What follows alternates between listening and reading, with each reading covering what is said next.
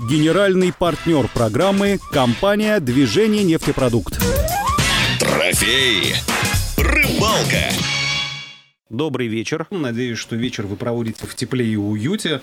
Возможно, за потреблением остатков того, что там могло быть на новогоднем столе, но это так шучу. Ну и надеюсь, что у вас велико по-прежнему желание узнавать что-то новое о таком увлекательном занятии, как рыбная ловля, зимняя рыбная ловля в данном случае. И ближайший час мы проведем вместе с вами, надеюсь, в нашей теплой компании. Василий Мамонов, эксперт компании «Арсенал» на Комсомольской 8, профессиональный рыболов, сегодня вместе с нами. Василий, да, добрый вечер. добрый вечер, друзья. Меня зовут Владимир Сметанин. Сразу же хочу поинтересоваться перед тем, как обозначить сегодняшнюю нашу тему и перейти к ней, как прошли с точки зрения рыбалки новогодние каникулы, Василий. Ну, вот сейчас Василий начал рассказывать, там прям экшен. Вот прям, ну да, рыбалка прям, на самом прям деле... Пощека, пощекать, пощекотать Ново- новогодние пришлось. каникулы мы ждем всегда с нетерпением, потому что это много выходных, в которые стоит посвятить своему любимому делу. Мы съездили на рыбалку. И семья знает, да, что все равно ведь поедет. Все равно, все равно ведь, надо все равно ведь, да. Ничего уже не поможет. Рыбалка с точки зрения именно рыбалки да, там трофеев каких-то или еще что-то, прошла, в принципе, ну, неплохо. Мы съездили, опять же, в любимейший нами водоем, там, Камское устье. Мы половили рыбы, все было здорово, но там есть определенные такие нюансы. Для тех, кто собирается туда... Давай в плане сейчас, предупреждения, да. Сейчас ехать вот в данный период, вот непосредственно вчера там буквально только вернулся вечером с рыбалки. А, друзья, имейте в виду, что если вы едете там со своей техникой, со снегоходом, а, ну вот с бастом развозки, да, егеря уже знают, поэтому поэтому сейчас практически никто и не ездит, не выезжает. Буквально не так там давно, там в начале вот новогодних праздников, там второго, третьего, четвертого, там, по-моему, пятого вот, э, очень сильные снегопады прошли, угу. соответственно, снега на льду очень-очень много. Это повлияло на то, что э, появились э, трещины и очень-очень много воды на леди, на льду. под грузом снега просто лед да.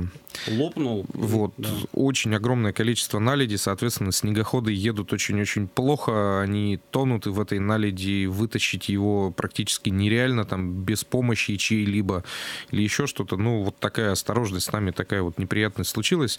Хорошо, что мы там из нее выбрались, да, выехали благодаря там помощи других рыболовов, которые тоже были на снегоходах, но тем не менее, угу. вот прям пока бы не поехал. Угу. Вот мне бы сейчас вот если обрисовали бы ситуацию, да, сказали там вот так, так, там реально налить по колено.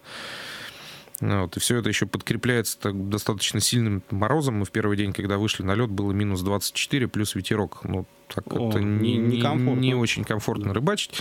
Но, тем не менее, рыбка поклевывает, рыбу можно половить. Э, сразу хочу предупредить, что все мы ловим в рамках закона, да, и в Камском устье сейчас это действует очень здорово. Ездит МЧС, э, ездят э, по льду рыбоохрана, угу. на берегу могут там проверить ваш улов и все-все-все. Так что будьте бдительны, э, соблюдайте размеры выловленной рыбы, соблюдайте максимальное количество рыбы, которое вы можете поймать э, в день, да, то есть, ну, на это обращайте внимание. Угу. Вот так, такая можно, штука. Василий, я поясню сейчас несколько моментов.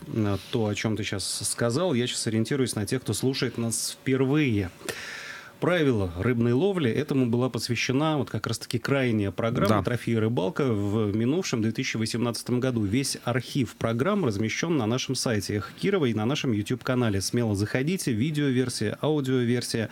Очень подробно с главным рыбинспектором нашего региона мы поговорили об этом.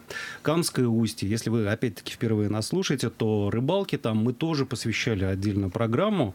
Осень, да, осенью, мы же говорили. Осенью до прошлого года тоже, пожалуйста, пожалуйста, заглядывайте в архив, в архив, и все вы там найдете. Ну, а если говорить о географическом местоположении Камского устья, если вы не в курсе, то это вот вы по пути на Вятские поляны, по Казанскому тракту. Можно проехать там, да. можно проехать через Советск. Через Советск. Пожалуйста, да. Яранск, да. Советский, угу. Шкарала, в объезд Казани, и все, и мы попадаем. Ну, где лучше? Камское устье. Мы ездим через Советск. Через Советск, лучше. Да. И дорога лучше, и по километражу получается даже чуть побольше, по-моему. Ну, естественно, на всем протяжении заправки движения присутствуют. Конечно. Смело можете заправляться, покупать необходимые аксессуары. Для автомобиля, напоминаю, что генеральный партнер программы «Трофеи рыбалка» как раз-таки компания «Движение нефтепродукт». И мы, напоминаю, разыгрываем в конце каждого месяца 30 литров бензина марки Ультра 92. В конце января, соответственно, будет очередной розыгрыш. Что касается сегодняшней программы и нашего фотоконкурса для э, рыболовов, именно зимнего фотоконкурса, то он продолжается. Ищите подробности в группе нашей радиостанции ВКонтакте. Сегодня мы так, ну, в честь того, что мы так раскачиваемся и немножко отходим от новогодних праздников, мы сегодня не будем разыгрывать подарок, вот именно среди тех, кто выкладывает свои фотографии, но мы сегодня обязательно разыграем разыграем подарочный... мы зададим. Да, да, подарочный сертификат от магазина «Арсенал» на Комсомольской 8. Василий его с собой принес, и Василий приберег вопрос для вас, уважаемые слушатели. Мы работаем в прямом эфире. Вот как только вы вопрос услышите, мы его так неожиданно озвучим. Как только вы его услышите, набирайте смс-ку, номер сразу же можете запомнить, 8 909 720 101 0, и, соответственно, высылайте правильный ответ. Правильно первому ответившему достанется у нас подарочный сертификат. Конечно. Вот так. Ну, а теперь тема сегодняшняя. А, опять же, в одной из предыдущих передач мы говорили о, о ловле хищника. Да мы, честно скажу, в большинстве, в большинстве. передач говорили о ловле хищника, Говоря потому о рыбе, что... мы подразумеваем э, рыбу плотоядную первую, да, в основном? Ну, потому что перв... первый лед, вот который у нас mm-hmm. был, да, а, он как раз, наверное, самое такое благоприятное время для ловли именно хищной рыбы. Mm-hmm. Потому что она себя чувствует еще очень активной, хорошо. Она там к долгой зиме, которая нас ждет впереди, она готовится, она активно кушает. И поэтому вот перволедок — это такое время для ловли хищной рыбы. Mm-hmm. Ну, а сегодня... Вот, да, мы... сейчас да. мы поговорим о ловле мирной рыбы, то есть белой рыбы, как ее еще называют, да? Если бы она на суше, мы бы травоядной ее называли, да? Ну, возможно. Да. Ну, а, а аналог такой, да. Вот. Бель, так называемая. Да, так называемая бель, это, соответственно, лещ, подлещик, сапак, густера, синец, чихонь. Там ее можно перечислять несметное количество, их очень-очень много видов. А сегодня мы коснемся, ну, вот я для себя выделяю, на самом деле, есть два типа ловли Э, рыбы, да, есть ловля бели там на водоемах без течения, Во, ну, там, озера там, или еще что-то, да, да? Мы будем о чем говорить? Вот. Либо ловля на реке. Вот угу. я, наверное, коснусь сегодня ловли именно на реке, на потому реке. что она, скажем так, э, более популярна. Это раз. Во-вторых, она более трофейная потому что там реально там, mm-hmm. ну, лещ вот он в озерах у нас не живет, он живет на реке, и такой трофей, который можно поймать там для рыболова, наверное, который занимается именно ловлей белой рыбы, mm-hmm. лещ там один из самых желанных трофеев. Вот. И она там, скажем так, более динамична, более интересна, но угу. вот с точки зрения именно вот самого процесса, она там немножко интереснее, потому что рыба всегда в движении там находится. Угу. Ну, такие вот нюансы есть. Без поэтому... движения нет тяжения. Да. И у рыбы тоже. И у рыбы тоже. Ну и к тому же это максимально близко, наверное, нашим слушателям, потому что вятка у нас поблизости. Да, переезжая, совершенно верно. Переезжая переправы через Вятку, мы видим Всегда. приличное количество Всегда рыбаков, сидят. сидящих на льду. И вот несколько дней назад, путешествуя на юг нашей области, переезжая в Вятку, я как раз-таки видел ну, достаточно приличное ну, здесь скопление на, здесь, здесь, здесь на самом деле не только Вятка, это могут быть и малые реки ну, какие-то, да. еще что-то, потому что там точно так же рыба присутствует, и там можно и нужно ловить, и это все очень интересно. Ну что ж, э, значит, начнем э, ловля на реке. Соответственно, река — это течение, угу. да, у нас э, в первое, что, чего вот хотелось бы мне коснуться, я для себя, и в принципе, наверное, это правильно, вот выделяю два вида ловли именно белой рыбы на реке. Есть так называемый активный вид ловли, есть, Сразу ну, поясним или потом? Ну вот потом, потом да. Ага. И, скажем так, ну можно его назвать пассивный вид ловли, но он такой, скажем так, ну пассивно-активно, ну скорее всего вот пассивный. То есть что подразумевает активная рыбалка? То есть э, рыболов постоянно находится в движении, точно так же, как там с блесной балансиром при ловле хищника, он делает достаточно большое количество э, лунок, э, он ищет именно скопление этой белой рыбы, да, достаточно активной рыбы, соответственно, снимает, Активно как правило... передвигается, в общем, вот, как, правило, как правило, на лунке ловит там 3, 4, там 5 э, рыбин, да, если повезет, ну, то есть активную рыбу, которая есть сейчас в зоне ловли, и дальше начинает снова движение, там поиск и все такое. Там и снасти немножко будут отличаться, ну вот об этом мы чуть дальше скажем. Угу. Вот. А пассивная рыбалка для меня это когда рыболов, он пытается к своей лунке эту рыбу собрать, приманить, прикормить, удержать и поймать. Ну, соответственно, лунок мы будем не так много, да, там перемещения у нас минимальны, но здесь во главу угла встает выбор места. То есть вот угу. где накормить. То есть можно просверлить лунку посередине вятки, да, там пытаться бешено там накормить рыбу, но в итоге, скорее всего, ничего у нас не получится. Да, возможно, мы что-то поймаем, но уловы будут не так велики, mm-hmm. нежели у того рыболова, который грамотно подойдет к выбору места, mm-hmm. да, там произведет закорм этой лунки, да, и будет там в течение там, дня ловить э, рыбу, не переставая. Фактически. А вот сейчас, наверное, Василий, глупо задавать вопрос, да какая тактика э, выгоднее и результативнее, потому что, наверное, они обе Кажд... имеют право на существование. Обе имеют право на жизнь, и Просто каждый, нужен подход. Каждый, каждый для себя выбирает, uh-huh. что ему больше по душе. Uh-huh. То есть больше двигаться, да, либо там сидеть на месте. Здесь есть свои особенности, особенности в выборе а, снасти для рыбалки, да, вот для ловли, что мы предпочитаем. Ну, начнем, наверное, с активной да, а, ловли. Хорошо, Здесь все стандартно, ничего нового не придумали. Мы ловим на мормышку, то есть, если это белая рыба, то мы ловим на мормышку, и либо на скажем так, приманки для безнасадочной ловли. И вот второй аспект, вот безнасадочная ловля, она вот на сегодняшний день, опять же, популя... более популярной становится, набирает там какие-то бешеные обороты. А это ловля на так называемые чертики, балда, угу. там, да, вот, вот такие вот разновидности. Она интересна чем? Тем, что, ну, понятно, что взять мормышку, насадить там мотыля, да, отпустить все равно ну, рыба клюнет так или иначе, и даже без участия рыболова. Ну, должна, по крайней мере, клюнуть, вот. да. А при ловле на безнасадку мы должны вот эту приманку подать так, чтобы рыба воспринимала ее как кормовой объект и кушала. Соответственно, вот здесь уже вступает в силу, скажем так, мастерство рыболова. Угу. Как он это сможет сделать, насколько грамотно и правильно он подобрал снасть, насколько грамотно он выбрал место. И в зависимости от этого уже будет улов там либо две рыбки за день, либо там, не знаю, там 5 килограмм. Либо ничего. Вот.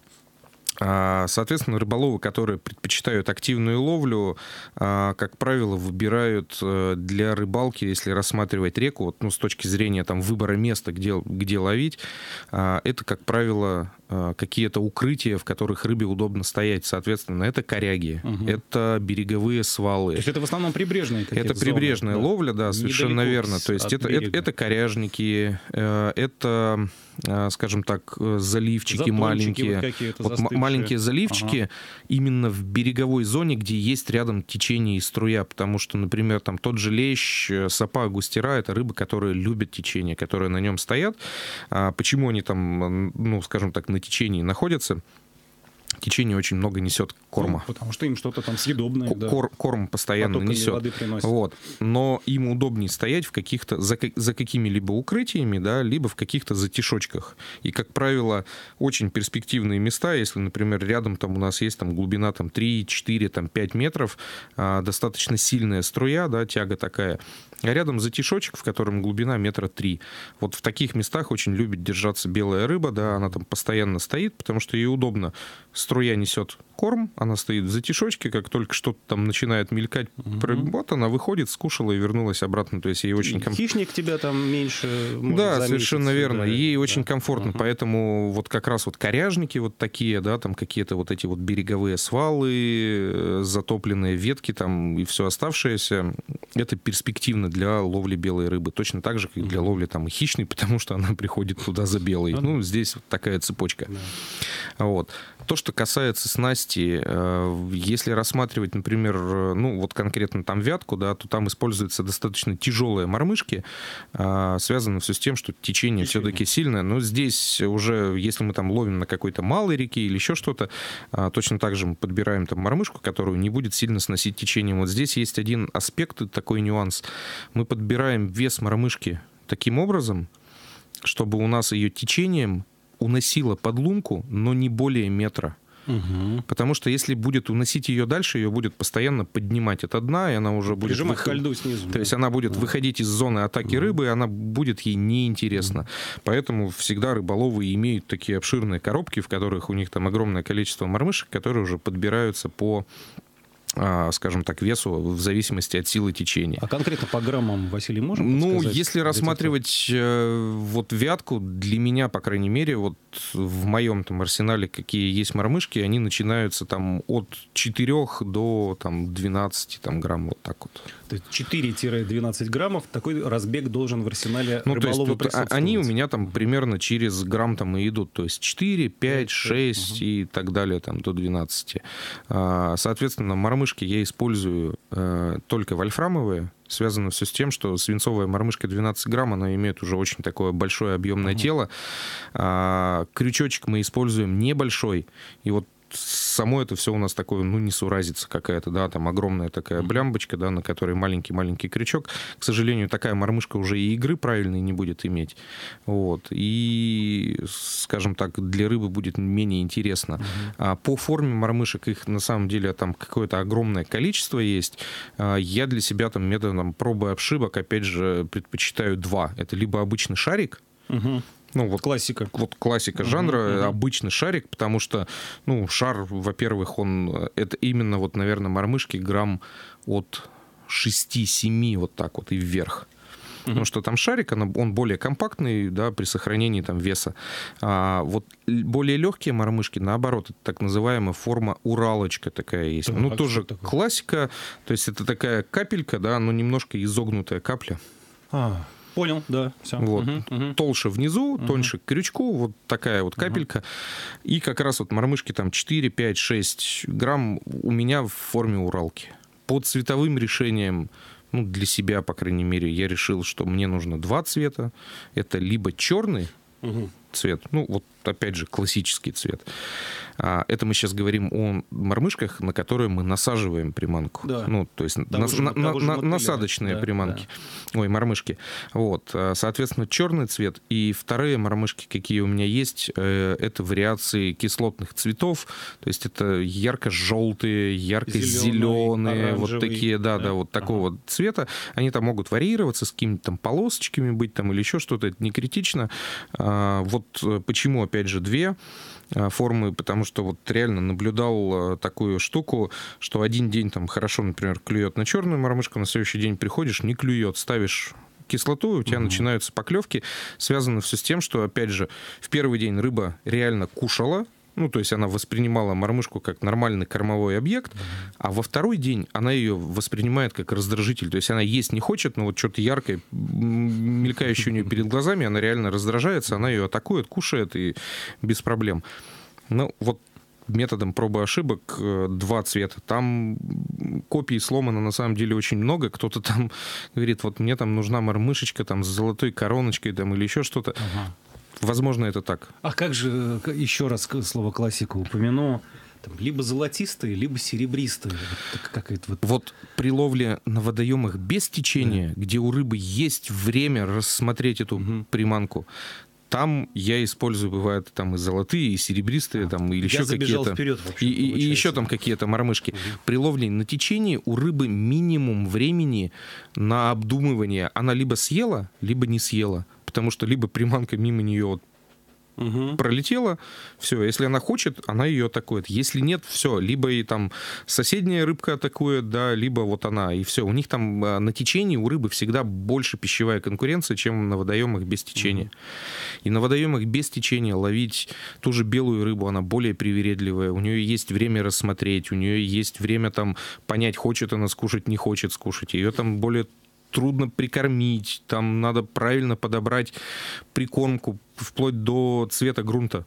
Бывает угу. так, что на илистом дне начинаешь кормить светлой перекормкой, все, поклевок нет, рыбы нет, она не клюнет, она вокруг ходит, смотришь в камеру, вот она вокруг этого прикормочного пятна ходит, а ты думаешь, что прикормка очень вкусная. Да-да, вы не ослышались, смотришь в камеру, Василий сказал. Но ну, это мы, мы тоже мы тоже об этом говорили. Предыдущую, одну из предыдущих передач. Вот. Так, ну не будем забегать вперед на да, соответственно, вот, э, вот, это, это своя отдельная тема, это своя философия, там ко всему, там и к цвету мормышки в том числе нужно подходить уже немножко по-другому. На течении все обстоит немножко вот в, в другом ракурсе. У рыбы там реально мало времени на обдумывание, да, она там кушает, и все хорошо. Поэтому опять же, не панацея, но тем не менее для себя там, да, вот два цвета, которые я выделяю, которые есть всегда в рабочей коробке. Не, ну никто не запрещает экспериментировать, там что-то пробовать. Рыбалка ну, это вот, всегда эксперимент. Да, это просто совет от опытного рыболова. Вот, это, это рыбалка это всегда эксперимент, поэтому, возможно, у кого-то хорошо клюет там на синий цвет, ну, не знаю, я не пробовал. Нет, вру, пробовал, но. дивидендов не получил каких-то от этого. Безнасадные, да? Вот. А, дальше, да. По безнасадочной ловле, соответственно, э, самой популярной ловлей э, является ловля на чертика.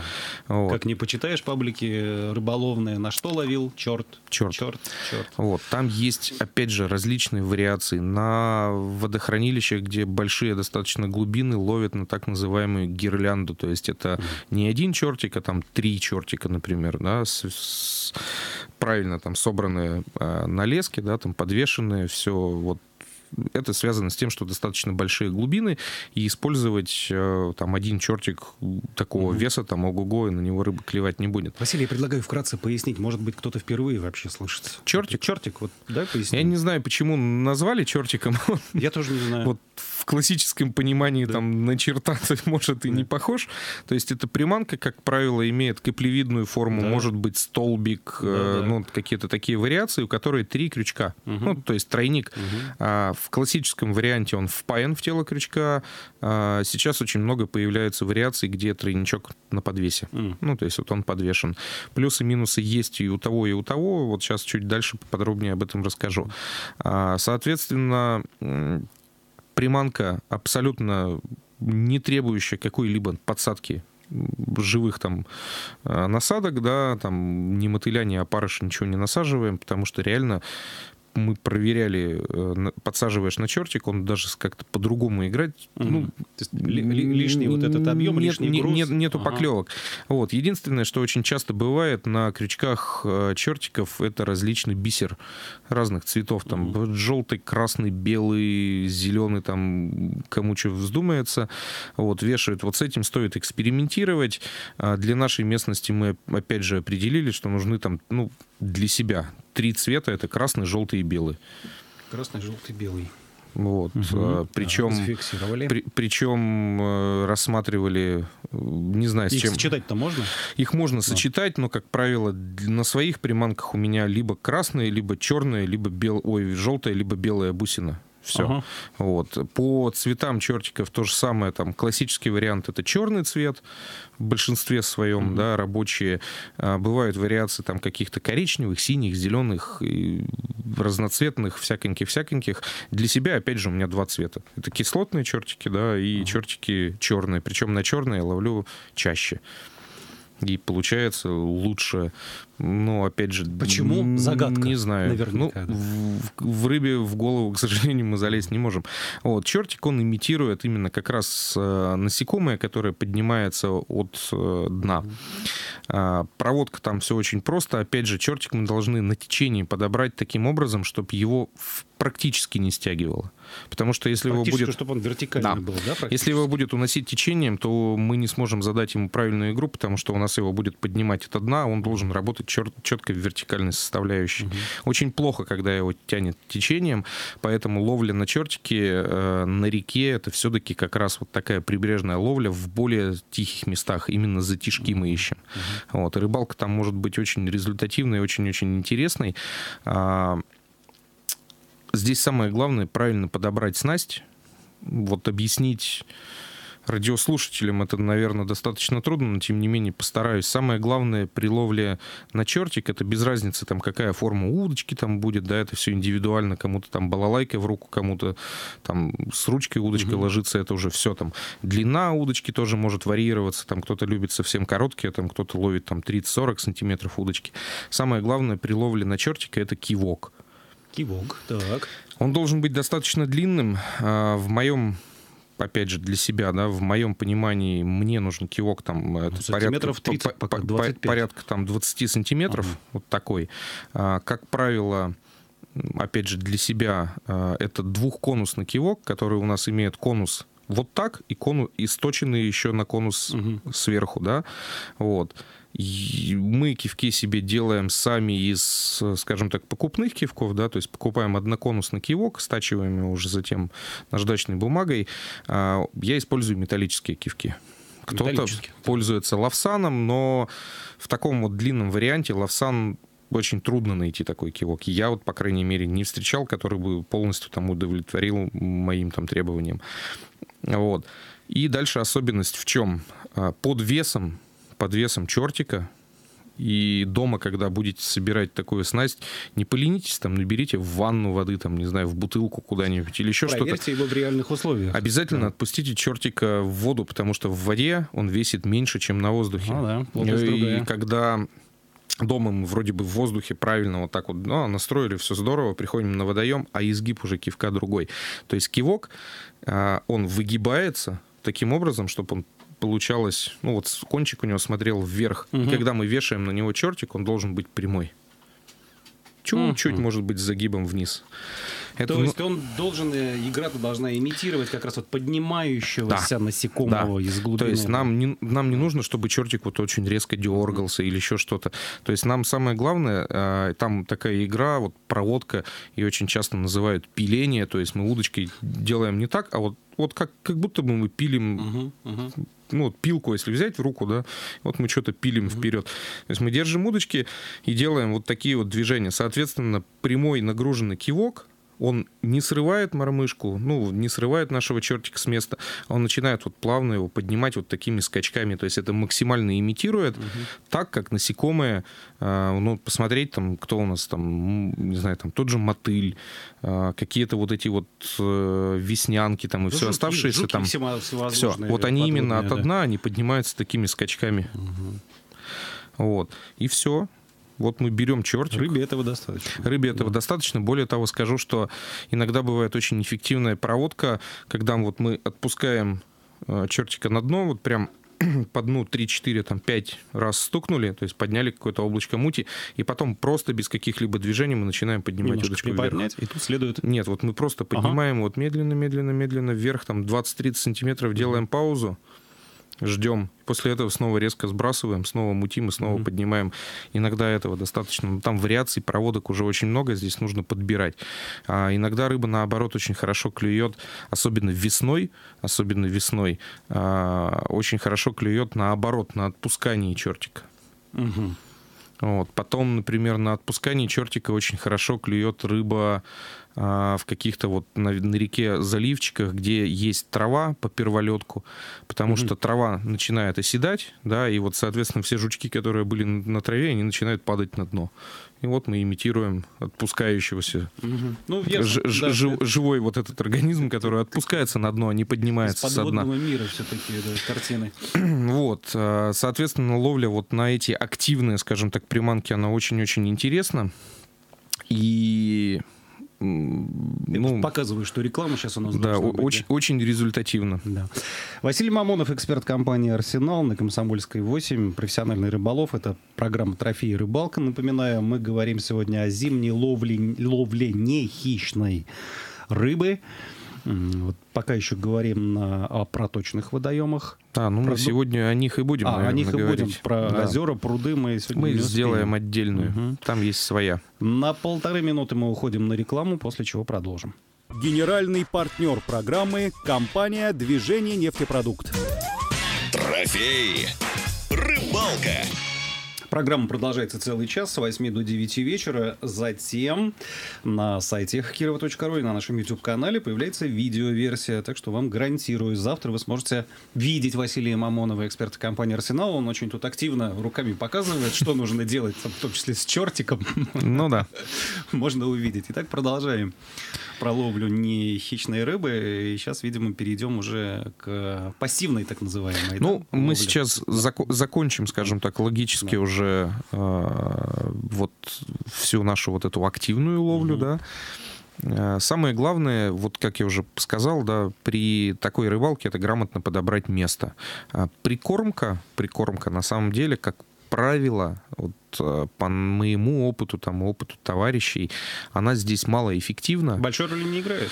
Она не то, чтобы большой роли не играет, она малоэффективна, связана все с тем, что на прикормку, ну, это вот я хотел сказать дальше, но скажу сейчас, на прикормку сначала всегда приходит мелкая рыба. Ага. Нам неинтересно ловить мелкую рыбу, соответственно, если кор- рыбак кормить... думает счастье каких-нибудь больших... Ну да, то есть при, прикар- прикармливать э, смысла нет. Э, это, во-первых. Во-вторых, на течении это сделать достаточно сложно.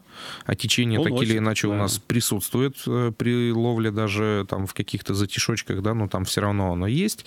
Соответственно, прикормка, она сильной роли не играет. Здесь принцип волка ноги кормят. Угу. То есть чем больше лунок мы сделаем, чем правильнее мы определим место, где стоит э, рыба, да, то тем, тем больше мы поймаем. Угу. Вот. Причем при ловле как раз вот в этих вот таких вот затишочках, коряжничках и всем оставшемся очень полезно пользоваться рыбопоисковой техникой. То есть там точно так же можно использовать и эхолот. Угу. А если мы рассматриваем вятку, то там не запредельные глубины и течение не очень сильное вот в этих затишках можно вполне себе пользоваться камерой подводной, угу. да, для определения там стоянки рыбы. И самое главное, вот здесь например, там, используя камеру, а, вот мы с товарищами ловим, мы не, не то, чтобы там рыбу ищем, а мы смотрим, куда двигается стая. Ну, потому что реально там она может в берег двинуться, она может там наоборот на течение там уйти. То есть нам после того, как мы пробурили лунку, там поймали первые там 3-4 рыбки, поклевки при, прекращаются, то есть мы начинаем смотреть, а куда рыба-то сдвинулась, угу. то есть в каком нам направлении бежать следующие лунки бурить. Потому что здесь все равно там мы можем ее там испугать, не знаю, там сход у нас какой-то будет или еще что-то. Ну, соответственно... Ну, бывают ситуации, да, разные. Да, мы, мы уже угу. смотрим. Вот, поэтому бурить, бурить, бурить, искать, подбирать приманку, ну, прикормка не нужна. А вот второй тип ловли, как раз когда мы мало перемещаемся, угу. и мы хотим под своей лункой собрать эту рыбу, угу. вот он уже требует вот этой обдуманной, грамотной прикормки, хорошо, качественно настроенной снасти, ну и определенного терпения, да, потому что, ну, рыболов-то думает, что вот здесь рыбы много, у рыбы на это может быть абсолютно свое мнение. Противоположное, да. Вот. Здесь то же самое. Мы выбираем в первую очередь э, место для ловли а, и определяемся ну, с тем видом рыбы, которую мы хотим ловить. Вот очень часто, например, а, есть такой, даже их называют, ну, не знаю, там разновидность рыболовов, наверное, да, сопятники. Угу. Да, ну, есть ну, такое, по названию рыбы, есть, есть ведь да. такое понятие есть, вот у нас на ветке да. сапятники. То Или он сопит. Вот, нет, это рыб, рыболовы, которые ловят сапу. сапу. То есть есть у нас такая рыба, да, которой достаточно много в реке, реально она вырастает ну, не сильно больших размеров, но тем не менее э, достаточно сильная рыба и доставляет такое удовольствие при вываживании. Ну, такие экземпляры в 300, в 400 грамм, они так, да. ого, уже сопротивляются. Я лично, Василий, прям. судя по моему опыту, никогда большой сапы не видел, как-то не попадалось. Ну, у нас же есть разновидности, вот есть сапа, угу. да, там есть белоглазка, угу. к примеру, да, есть синец, ну, синцам трудно с собой перепутать, но тем не менее, да, очень часто там ее путают с какими-то подлещиками там или еще что-то. Mm-hmm. Ну, то есть, ну, реально, mm-hmm. вот когда небольшой размер, там 200-300 грамм, там, ну, есть возможность перепутать, но тем не менее отличие у нее тоже там это и строение рта такое, да, и глаза у нее такие огромные. И форма. Вот, и да форма-то тела у них одинаковая, ну, широкотелые очень такие рыбины, большие. Да, да. Угу. Вот, лепешечки такие угу, их еще угу. называют. Вот, соответственно, рыболовы, которые ловят сапу, они могут э, выбирать место ловли. Очень часто, например, она клюет на песчаных пляжах. То есть вот mm-hmm. стая, стая встает uh-huh. на, на песке. Но там должны быть особенность, то есть э, вот на этих песчаных пляжах должна быть глубина, ну хотя бы там 2-3 метра, а, и обязательно наличие барханов. Угу. Пере, есть, перекатиков вот таких, да? да? вот этих угу. вот барханов. За этими барханами стоит вот вот как раз э, сапа, она очень любит стоять на песке, но это, как правило, либо самый вот такой последний уже лед, либо вот перволедок зимой она все-таки предпочитает более глубокие места с, более чуть, с чуть более угу. медленным течением, потому что на песках, как правило, течение всегда достаточно сильное. Вот. И опять же, на песках вот ее там прикармливать можно, но очень сложно. Ну, об этом чуть дальше. Вот. А потом есть разновидность рыболовов, которые ходят за белой рыбой и ловят ее ночью. Это, как правило, лещатники. Там, потому что вот Я очень... бы их назвал э, полуношники. Вот. Крупный лещ, он реально хорошо клюет ночью. А, и вот есть такая, скажем так, группа рыболов, которые предпочитают ночную рыбалку дневной, да. И, наверное, самые распространенные это, которые ловят вот днем, там пытаются поймать угу. того же леща. Но здесь, опять же, мы выбираем а, место для ловли хорошего крупного леща, это обязательно, чтобы была, а, ну, скажем так, если не максимальная глубина в водоеме, но близкая к этой, понятно, что там на 8, там на 9 метрах можно ловить, но... Очень много, конечно. Скажем так, вот опять же, методом пробы ошибок там на своих рыбалках мы вот определили, что очень комфортная глубина для ловли это там в пределах 5-6 метров. Угу. То есть если есть вот такие вот места, там все очень здорово. А, обязательно, чтобы рядом а, находились, опять же, какие-то там коряшки, да, то есть укрытия, в которых он может там стоять. Вот. Ну и самое главное, наверное, это рельеф дна. И состав дна. Так, тут в чем Вот и, им, именно состав грунта. Потому что, например, лещ на глине стоять не будет. Связано все с тем, что лещ это рыба-пылесос, которая вот пылесосит дно, угу. то есть вот через, он, через себя пропускает. Да, через себя все, пропускает, да. всасывает, и все. Соответственно, пылесосить глину у него получится очень плохо. А, например, там на каком-то сильно песчаном дне там тоже корма мало, ему это неинтересно. Соответственно, дно должно быть таким, более-менее скажем так, ил должен да? обязательно ага, ага. там какой-то присутствовать. Соответственно, это а, ямы, да, угу. и именно средина ямы, то есть не вход из ям в, в яму и выход, где уже течение достаточно, тут еще сильное, а тут уже сильное, а вот именно средина ямы, где течение более слабое, соответственно, здесь максимально скапливается весь корм, который заносит сюда течением, здесь дно будет максимально мягким, вот, э, вот такие места стоит выбирать. Проверить очень просто, нам не нужна никакая там дорогостоящая техника или еще что-то. Вот мы проверяем обычным, э, грубо говоря, у меня там вот на веревке шар, там, ну, по-моему, 100-граммовый ну, в общем, такой. вы берете пробы грунта, вы ну, берете, то есть, да, бум туда, да. стукнуло, значит, дно твердое, угу. провалилось, значит, мягкое, угу. а дальше уже начинаем смотреть, что там, песок там или ил. То есть сделать это все тоже очень-очень просто. У меня вот этот вот груз, который есть, да, он пилкой у меня распилен. Угу. Вот так вот на много-много-много-много таких надрезов да, сделан. И, соответственно, когда туда отпускаешь его с силой, а потом поднимаешь, ты уже, ты, ты, ты уже видишь, что да. там вообще песок, ил и либо глина. Все, то есть выбрали место, мягкое дно нас устроит. Дальше самое главное, вот именно в такой рыбалке, это прикормка. Их, ну, прикормок какое-то бешеное количество сейчас а появилась. Вот сразу задам вопрос, который часто задаются, Каша? рыболовы. Нет, самому готовить, вот варить вот. из того, что, да. Или вот. покупать какую-то готовую. Да. А, скажем так, здесь есть опять же нюансы. Готовых прикормок сейчас не знаю, огромнейшее да. количество. Вот а, кто-то там варит какие-то каши или еще что-то.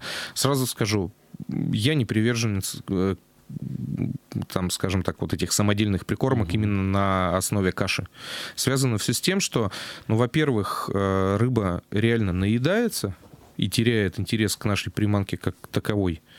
Вот. Во-вторых, какое количество каши нужно принести на водоем, чтобы накормить на течении – вот. Ну, многие тащат большой запас. Да. да. Вот. И в-третьих, э, ну, скажем так, для природы, наверное, не очень хорошо, потому что очень каши, если много там мы закинули, рыба ее не съела, она там где-то закиснет, там еще что-то. Ну, такие вот вариации ага. там могут быть. Опять же, кормить прикормками, которые заводские, но там нужно четко подходить, э, во-первых, цвет прикормки выбрать. А для вятки, если мы ловим именно на ямах, я все-таки советую именно темные, темные базовые прикормки какие-то. Вот. Второй мой совет – это прикормка, которая должна на зимний период иметь минимум аттрактантов в своем составе. То есть она не должна там быть очень, иметь там сладкий какой-то запах, да, там приторный запах или еще что-то, потому что в холодной воде рыба менее активна, там вот эти все запахи распространяются по-другому, то есть в теплой воде запахи распространяются очень хорошо, и, например, в летний период там шоколад, клубника, ваниль, ваниль и вот все вот эти вот штуки имеют место быть. Например, зимой там очень хорошо работает анис, да, вот этот вот, вот анисовый запах, но опять же с ним нужно не переборщить. Вот. И самое главное для меня, по крайней мере, э, на последних вот многих рыбалках, это наличие в прикормке э, живой субстанции. Ну, то есть так, кормовой так. мотыль, там рублен, рубленый опарыш. Он, он тоже отдельно вот он приобретается или он, он в составе? Нет, он приобретается отдельно, отдельно, и мы уже, соответственно, в состав добавляем. То есть замешиваем сами. Вот угу. рецепт прикормки, который используем мы, так. товарищи как мои и, э, и, и я, да? В одном известном фильме. Минуточку, я записываю. Помедленнее я записываю. Я записываю. Вот. То есть мы берем панировочный сухарь. Обычный, который в каждом вот продуктовом магазине Совершенно продается. верно. Ага. Обычный панировочный сухарь. Как правило, на дневную рыбалку мне хватает 2 килограмма панировочного сухаря. Ну, это... Причем его можно сделать самому, то есть там ну, старые корочки засушить, хлебушка, конечно, там, да, все ага. там. То есть мы берем панировочный сухарь как основу для прикормки. А в магазине мы покупаем любую зимнюю прикормку с названием лещ, то есть это там uh-huh. может быть, не знаю, там Сабанеев, Сенсос, там, ну их тоже, ну их, их там масса, огр- огромное масса, количество, да, здесь да. уже выбираем. Самое главное, когда придете в магазин, например, к нам там, да, на Комсомольскую 8 в Арсенал, продавца попросите, скажите, вот мне дайте прикормку нейтральную, в которой нету никаких э, примесей ароматизатора. Mm-hmm. Такие существуют. Но в этих прикормках э, производители всегда добавляют э, скажем так, такую вот добавку, которая вызывает у рыбы аппетит постоянный. То есть она не наедается. То есть еще и еще она Ей хочется еще ага. и еще. То есть усилитель ага. какой-то такой вот, не знаю, там, аппетита, да. То есть это реально добавляется в прикормке. Вот, рыба не чувствует насыщения. А, прикормка это достаточно мелкую фракцию, то есть имеет. Вот мы ее можем смешать там, ну вот я беру там килограмм вот такой прикормки, да, там 2 килограмма панировочных сахарей. Mm-hmm. А, соответственно, это смешивается один к двум. Вот, дальше а, мы один, делаем... Э, одна часть чего? Од килограмм прикормки ага. и 2 килограмма, килограмма там сухарей. сухарей вот. Причем вот это мы смешали, все, мы ни в коем случае дома там не увлажняем водой, там ничего не делаем, мы это несем в сухом виде, потому что нам бывает так, что ну и половинки этого хватит там для того, чтобы порыбачить угу. на день. Вот. Вернем обратно, используем на следующую рыбалку. Конечно. Да, конечно. Вот, дальше что мы берем? Василий, мы... я прошу прощения, время-то бежит, нам а, вопросик. внезапно вопрос зададим. Вопросик, а вопрос да. будет очень простой, а, так как у нас сейчас вступили в правила новые рыб... рыболовные правила, да, новое рыболовство, а, вопрос будет такой, каков минимальный размер судака у нас допустим к вылову и количество судаков, пойманных в день?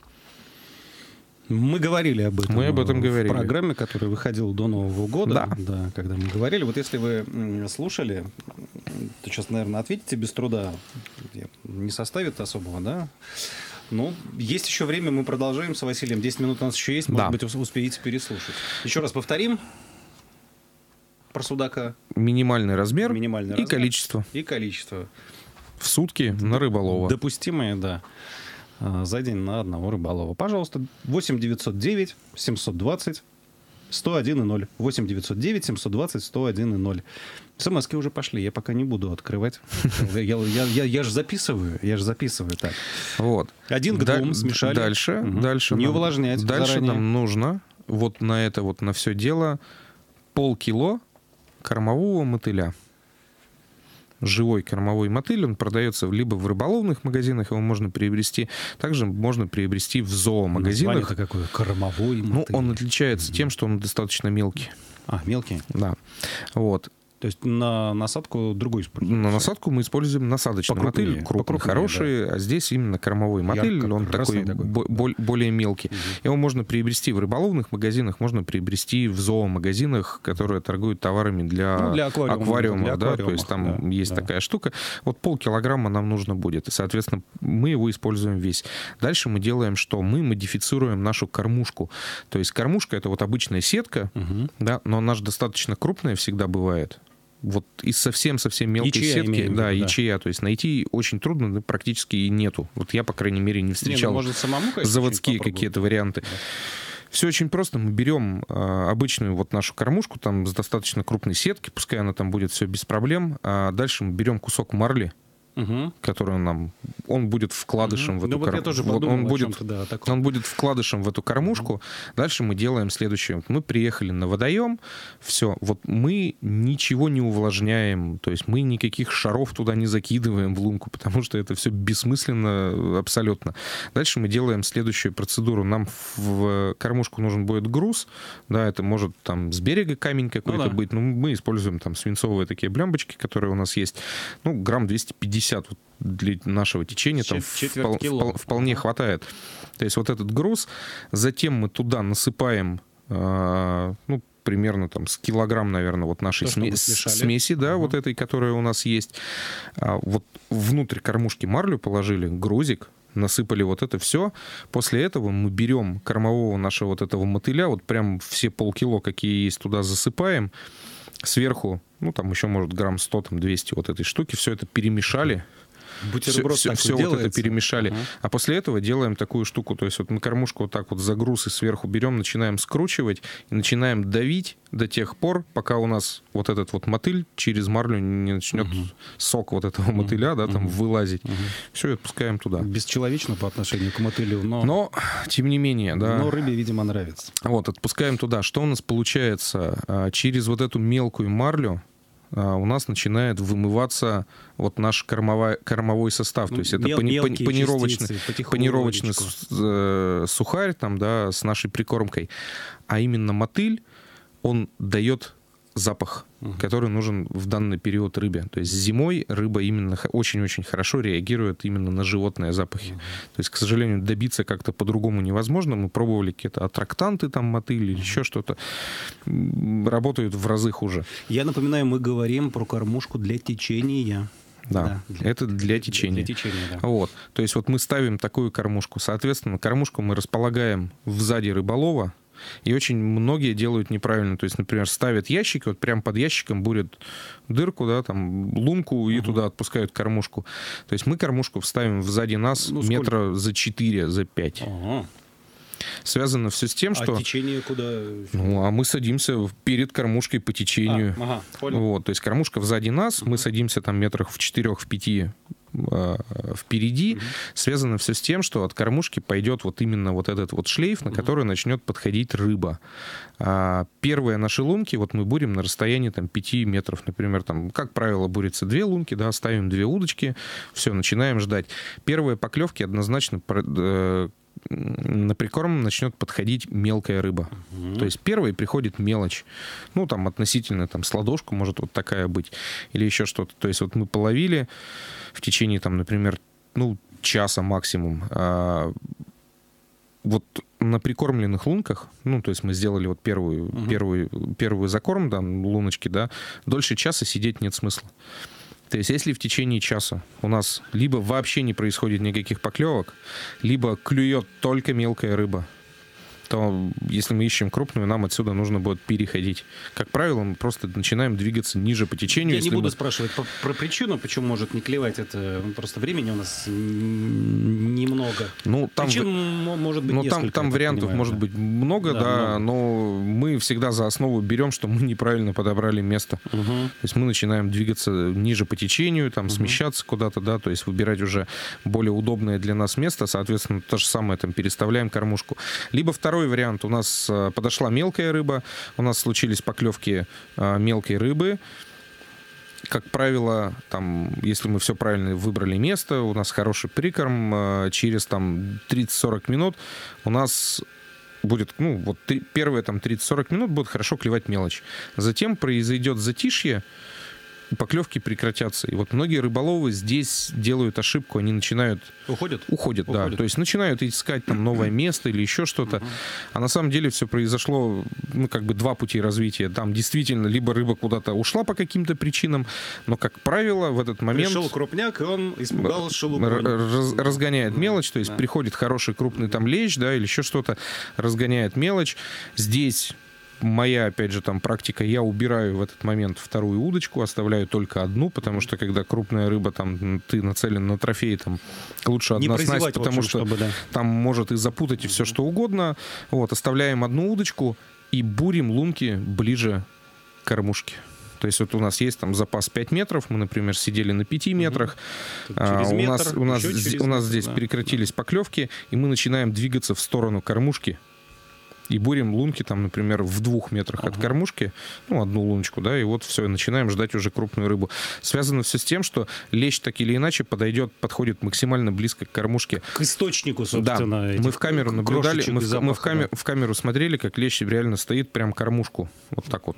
Губами, или как у него там это да. называется? Да-да-да. Ртом, ртом, общем, губами, вот он там теребит кормушку, uh-huh, uh-huh. все. Вот. В этот момент очень полезно будет э, сделать такую следующую штуку. А, мы берем там, например, остатки нашей вот этой вот прикормки, которая у нас осталась, mm-hmm. да, сухой.